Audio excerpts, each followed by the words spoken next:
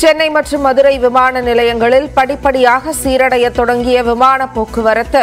கணினி மூலம் boarding pass வழங்கும் ஊழியர்கள்.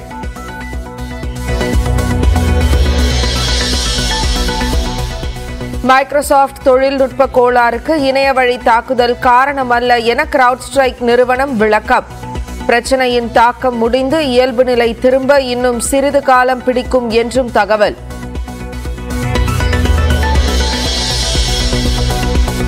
கணினியை தவிர்த்து மற்ற இடங்களிலும் தனிநபர்கள் தங்கள் தரவுகளை பேக்கப் எடுத்து வைத்துக் கொள்ள வேண்டும். மைக்ரோசாஃப்ட் கௌரவ மண்டல இயக்குனர் வெங்கடரங்கன் அறிவுரை.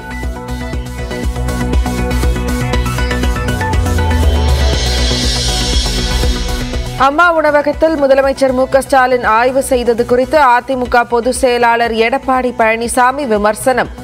கடந்த மூன்று ஆண்டுகளில் பத்தொன்பது அம்மா உணவகங்கள் மூடப்பட்டதாக குற்றச்சாட்டு.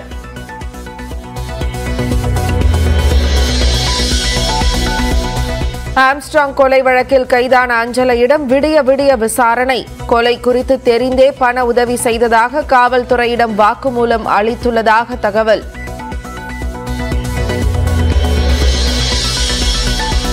இன்று ஆம்ஸ்ட்ராங்கிற்கு பதினாறாம் நாள் காரியம் நடக்க உள்ள நிலையில் பழிக்கு பழியாக கொலை நடக்கலாம் என உளவுத்துறை எச்சரிக்கை.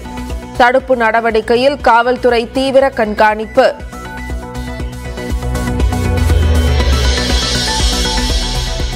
தொடர் கனமழையால் புதகையில் வெறிச்சோடிய சுற்றுலா தலங்கள். சுற்றுலா பயணிகள் இன்றி காணப்படும் அரசு தாவரவியல் மற்றும் ரோஜா பூங்காக்கள்.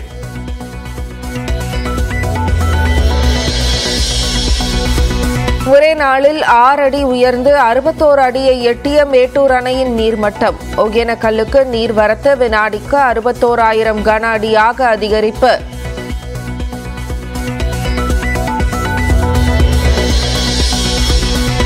டிஎன்பிஎஸ்சி குரூப் டூ தேர்வுக்கு விண்ணப்பிப்பதற்கான அவகாசம் நீட்டிப்பு. தொழில்நுட்ப பிரச்சினைகள் காரணமாக இன்று நள்ளிரவு வரை விண்ணப்பிக்க அனுமதி.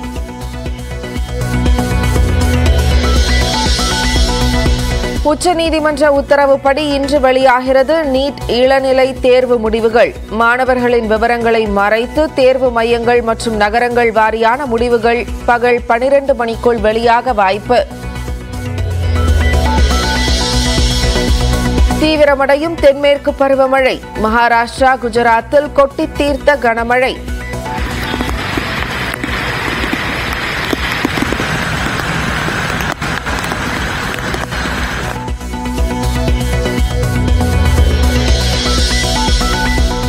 தனது உயிருக்கு அச்சுறுத்தல் இருப்பதால் தமிழ்நாடு அரசு உரிய பாதுகாப்பு வழங்க வேண்டும். தமிழக மக்கள் முன்னேற்றக் கழக தலைவர் ஜான் பாண்டியன் பேட்டி.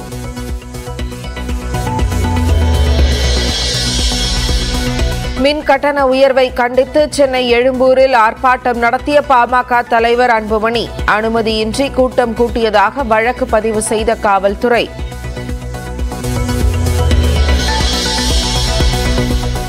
தூத்துக்குடி மாவட்டம் புதூர் பாண்டியாபுரம் பகுதியில் தனியார் மீன்பதன ஆலையில் அமோனியா கசிவு. கும்பகோணத்தை சேர்ந்த ஐவர் உட்பட இருபத்தோரு பெண்களுக்கு மூச்சு திணறல்.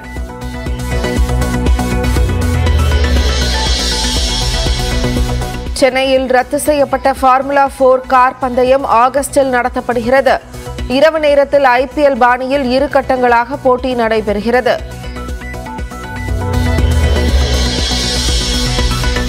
யுபிஎஸ்சி தலைவர் மனோஜ் சோனி ராஜினாமா. போலி சான்றிதழ் சர்ச்சைக்கும் மனோஜ் சோனி ராஜினாமாவிற்கும் தொடர்பில்லை என யுபிஎஸ்சி விளக்கம். ஆம்ஸ்ட்ராங் கொலை வழக்கில் இரண்டு பெண் தாதாக்கள் பின்னணியிலிருந்து மூளையாக செயல்பட்டு இருப்பது தற்போதைய விசாரணையில் தெரியவந்துள்ளது. வடசென்னை ரவுடிகள் ஒன்று சேர்ந்து திட்டத்தை தீட்டினார்களா? ஆம்ஸ்ட்ராங் கொலைக்கு மாஸ்டர் ஸ்கெட்ச் போட்டது எப்படி? இவர்கள் அனைவரையும் ஒன்றிணைக்கும் புள்ளி எது? மூன்று வழக்கறிஞர்கள் கைதின் பின்னணி என்ன? விரிவாக விவரிக்கிறது இந்த இரத்த சரித்திரம்.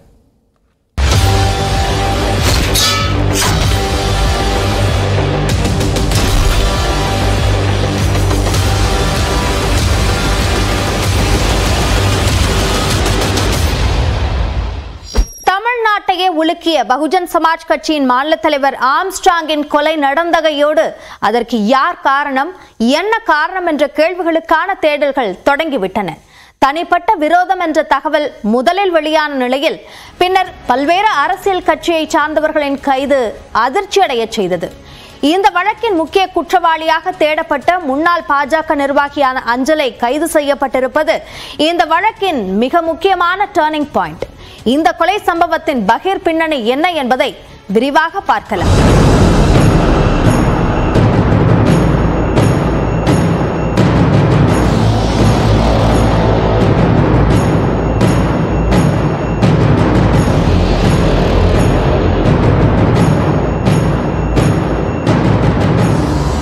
ஜூலை ஐந்தாம் தேதி மாலை ஆம்ஸ்டாங் வீட்டை நெருங்கிய கொலையாளிகள் வெறும் முப்பது வினாடிகளில் பல இடங்களில் வெட்டி ஆம்ஸ்டாங்கின் உயிரை பறித்தனர். இந்த தெரு முழுக்க பார்த்தீங்கன்னா சிசிடிவி கேமராக்கள் இருக்கு. குறிப்பாக பார்த்தீங்கன்னா ஆம்ஸ்டாங் வீடு இருக்கக்கூடிய இந்த பகுதி ஒரு பத்தடி ரோடு தான் இருக்கக்கூடிய இந்த பகுதியில் குறிப்பா இரண்டு நிமிடங்கள்ல திட்டமிட்டு முப்பது வினாடிகள்ல இந்த கொலையானது அரங்கேற்றப்பட்டிருக்கு. இந்த அளவுக்கு துல்லியமாக இந்த திட்டத்தை தீற்றியது யார் அப்படின்னு பார்த்தா இந்த அருள் தான் இந்த அருள் யார்? இந்த அருளினுடைய பின்னணி என்ன? பகுஜன் சமாஜ் மாநில தலைவர் ஆம்ஸ்டாங் கொலை வழக்கில் முக்கிய கையாக பார்க்கப்படுபவர் வழக்கறிஞர் அருள். முப்பத்தி இரண்டு வயதான இவர் திருநின்றவூரைச் சேர்ந்தவர். ஆற்காடு சுரேஷின் மைத்துனரான அருள் திமுகவில் உறுப்பினராகவும் இருந்துள்ளார். முன்பு அடிதடி வழக்குகளில் மட்டும் சிக்கிய இவர் ஆற்காடு சுரேஷ் கொலைக்கு பழிதீர்க்கவே பொன்னை பாலுவுடன் இணைந்து ஸ்கெட்ச் போட்டதாக கூறப்படுகிறது. யார் யார் எந்தெந்த திசையில் இருக்க வேண்டும் உணவு டெலிவரி உடையில்தான் வர வேண்டும் என்பன உள்ளிட்ட கூர்மையான பல திட்டங்களை கூலிப்படைக்கு அருள்தான் தீட்டிக் கொடுத்ததாக கூறப்படுகிறது. இந்த வழக்கில் கொலை குற்றவாளிகளை ஒருங்கிணைக்கும் குழுவின் முக்கிய தளபதியாக செயல்பட்டதாகவும் கூறப்படுகிறது. ஆம்ஸ்டாங் கொலை செய்யப்பட்ட இடத்துல தான் நம்ம இருக்கோம். இந்த கொலையில கொலை செய்யப்பட்ட போதே பதினோரு பேர் கைது செய்யப்பட்டிருக்கக்கூடிய நிலையில இரண்டு பெண் தாதாக்கள் கைது செய்யப்பட்டிருக்காங்க. இந்த கொலையில அந்த பெண் தாதாக்களுக்கு இருக்கக்கூடிய தொடர்புகள் என்ன? வடசென்னையின் கந்துவட்டி ராணியான நாற்பத்தி எட்டு வயது அஞ்சலை இவர் புளியந்தோப்பு ஓட்டேரி பெரம்பூர் உள்ளிட்ட பகுதிகளுக்கு கஞ்சா சப்ளை செய்த மொத்த வியாபாரி என்று காவல்துறையால் கூறப்படுகிறார். சில ஆண்டுகளுக்கு முன்பு தனக்கு தொந்தரவு கொடுத்த சின்ன கேசலு என்ற ரவுடியை தீர்த்து கேட்ட ஆற்காடு சுரேஷிடம் உதவி கேட்டுச் சென்றதாக கூறப்படுகிறது. அவருக்கு உதவியாக சின்ன கேசலுவை தீர்த்து கட்டி உள்ளார் சுரேஷ்.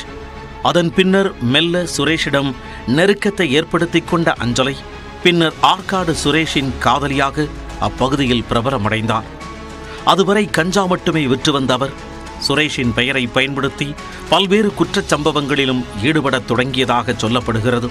காவல்துறையின் ஏடுகளில் பி பிரிவு சரித்திர பதிவு குற்றவாளியானார் இரண்டாயிரத்து பத்தொன்பதாம் ஆண்டில் குண்டர் சட்டத்தில் கைது செய்யப்பட்டு ஓராண்டு சிறையில் இருந்த அவர் வெளியே வந்த பின்னர் தனது செல்வாக்கை பயன்படுத்தி பாஜகவில் இணைந்தார்.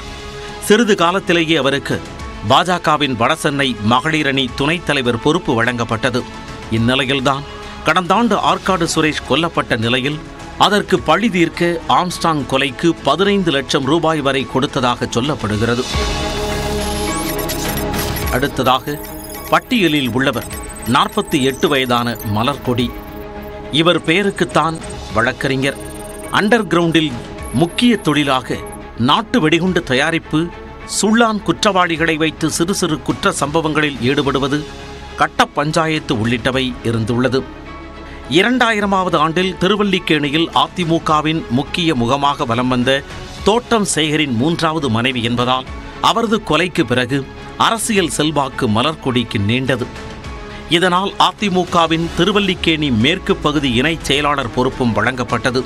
ஜாம்பஜார் காவல் நிலையத்தில் சி பிரிவு குற்றவாளியான மலர்கொடி ஆந்திராவில் சென்று வழக்கறிஞர் பட்டம் பெற்றதாக கூறப்படுகிறது. நாட்டு வெடிகுண்டு தயாரிப்பதில் கில்லாடியான மலர்கொடி சுள்ளாங் குற்றவாளிகளுக்கு அடைக்கலம் கொடுப்பது அவர்களை ஜாமீனில் எடுப்பது என அவர்களை தனது கைக்குள் வைத்துக்கொண்டு ரவுடி சாம்ராஜ்யத்தை செய்து வந்ததாக கூறப்படுகிறது. இந்நிலையில்தான் ஆம்ஸ்டாங் கொலைக்கு நாட்டு வெடிகுண்டு சப்ளை செய்ததாக கைது செய்யப்பட்டுள்ளார்.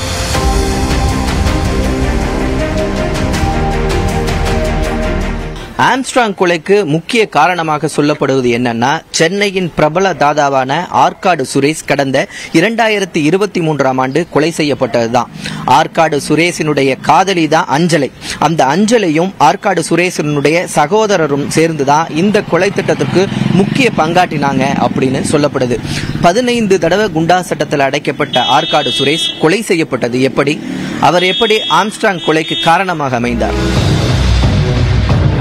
தனது எதிரிகளை எல்லாம் போட்டுத் தள்ளி பத்தாண்டுகளுக்கு மேல் எதிரிகளே இல்லை என்று சென்னையில் ரவுடி சாம்ராஜ்யம் செய்து வந்தவர்தான் ஆற்காடு சுரேஷ்.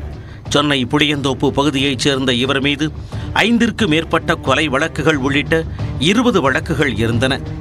பதினைந்து முறை குண்டர் தடுப்பு சட்டத்தில் அடைக்கப்பட்ட ஏ கிரேட் குற்றவாளியாக இருந்த ஆற்காடு சுரேஷ் இரண்டாயிரத்து இருபத்து மூன்றாம் ஆண்டு பட்டினப்பாக்கத்தில் படுகொலை செய்யப்பட்டார். இவரது கொலை வழக்கில் பதிமூன்று பேர் கைது செய்யப்பட்டனர். ஆனால் இந்த கொலை குற்றவாளிகளுக்கு அடைக்கலம் கொடுத்தவர்தான் ஆம்ஸ்டாங் என்று நம்புகிறது. ஆற்காடு சுரேஷ் தரப்பு. இந்த சம்பவத்துல பல குற்றவாளிகள் இருந்தாலும் இந்த பகுதியை சேர்ந்த ஒருவர் நமக்கு வேவு பார்த்தாதான் சரியாக இருக்கும் அப்படின்னு சொல்லிட்டு கணித்த பொன்னை பாலு இந்த பகுதியை சேர்ந்த ஆட்டோ ஓட்டுநரான திருமலையை இந்த திட்டத்தில் சேர்த்திருக்கிறாங்க.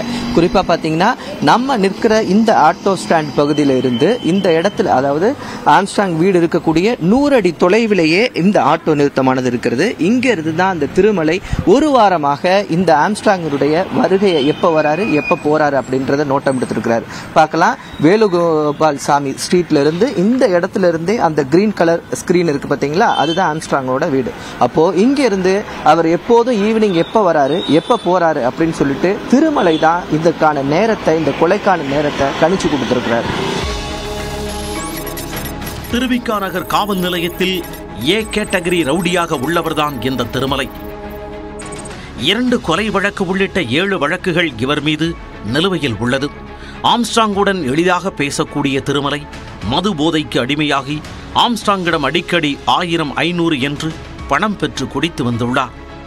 திருமலையை தூக்கினால் ஆம்ஸ்டாங்கை தூக்கலாம் என்று திட்டம் போட்ட பொன்னை பாலு திருமலையை எளிதாக மடக்கி தன் கைக்குள் வைத்துக் கொண்டது திருமலை மூலமாக ஒரு மாதமாக நோட்டமிட்டு எளிதாக ஆம்ஸ்டாங்கின் நகர்வுகளை தெரிந்து கொண்டுள்ளது கொலை கும்பல். ஆம்ஸ்ட்ராங் வீடு இருக்கிற இடத்துல இருந்து ஒரு நூறு மீட்டர் தொலைவில் இருக்கிற இடத்துல தான் நம்ம தற்போது இங்கே இருக்கிறோம். இங்கே இருந்து தான் இந்த திருமலை கோகுல் சிவசக்தி உள்ளிட்டவர்கள்லாம் ஒரு வாரமாக வந்து இந்த திட்டத்தை நிறைவேற்றிருக்கிறது தெரிய வருது. குறிப்பாக இப்போ நம்ம பார்க்குற இந்த சிசிடிவியில் பார்த்தீங்கன்னா இந்த தெரு இருக்கு தெருவுல இருந்து பக்கத்து தெரு இருக்கக்கூடிய பகுதியில் இந்த கும்பல் வந்து கொலை செய்கிறதுக்கு சில நிமிடங்களுக்கு முன்பாக ஒன்று கூடி எப்படி போகிறது அப்படின்னு சொல்கிறத பிளானை கூட பேசுகிறத நம்ம பார்க்கலாம். ஒரு வாரமாக தினமும் வேலைக்கு வர மாதிரி இந்த உணவு டெலிவரி உடைகளை அணிஞ்சிட்டு வந்து இந்த கும்பலானது தொடர்ந்து இந்த பகுதியில் இந்த இடத்துல உட்காந்து தான் திட்டத்தை தீட்டியிருக்காங்க. இது ஒருபுறம் என்றால் ஆம்ஸ்டாங் கொலை வழக்கில் கைதாகி பின்னர் தனிப்படை போலீசாரிடம் இருந்து தப்பியோட முயன்றபோது என்கவுண்டரில் உயிரிழந்த திருவேங்கடம் பொன்னை கிராமத்தைச் சேர்ந்தவராக இருந்தாலும் சென்னையை அடுத்த குன்றத்தூரில் தான் வசித்து வந்தார். வேகமாக கத்தி வீசும் திறன் கொண்ட திருவேங்கடம் ஆம்ஸ்டாங்கின் கழுத்துக்கு குறிவைத்து அவரை ஒரே வெட்டில் கீழே வீழ்த்தியுள்ளார் இவர் மட்டுமன்றி வடசென்னையைச் சேர்ந்த வேறு சில ரவுடிகளுக்கும் ஆம்ஸ்டாங் கொலையில் தொடர்பு இருப்பதாக கூறப்படுகிறது. ஆம்ஸ்டாங் கொலையில வழக்கறிஞர்கள் பெண் தாதாக்கள் எல்லாம் தொடர்பு இருப்பதாக கூறி கைது செய்யப்பட்டு வரக்கூடிய நிலையில வடசென்னையைச் சேர்ந்த சில முக்கிய ரவுடிகளுக்கு தொடர்பு இருப்பதாக கூறப்படுகிறது. அவர்கள் கைது செய்யப்பட்டால் இந்த கொலைக்கான பின்னணி காரணம் என்ன என்ற முழு விவரமும் வெளியாவதற்கான வாய்ப்பு இருப்பதாக காவல்துறை தரப்பில் தெரிவிக்கப்பட்டுள்ளது. அருள் கொடுத்த வாக்குமூலத்தின் அடிப்படையில் அவருக்கு மிக நெருக்கமாக இருந்த திருவள்ளூர் மத்திய மாவட்ட திமுக இலக்கிய அணி துணை அமைப்பாளர் குமரேசனின் மகன் சதீஷையும் தனிப்படை கைது செய்தது. திருநின்றவூரைச் சேர்ந்தவரான சதீஷ்தான் போலி நம்பர் பிளேட்டுகளுடன் கொலையாளிகள் செல்வதற்கு வாகனங்களை ஏற்பாடு செய்து தந்ததாக கூறப்படுகிறது. மேலும் தனக்கு தெரிந்த ஹோட்டல்களில் கூலிப்படையினரை தங்க வைக்க உதவியதாக கூறுகிறார்கள் காவல்துறையினர். நியூஸ் எயிட்டின் தமிழ்நாடு தொலைக்காட்சி செய்திகளுக்காக செய்தியாளர்கள் கோகுல் மற்றும் ரகுவரன்.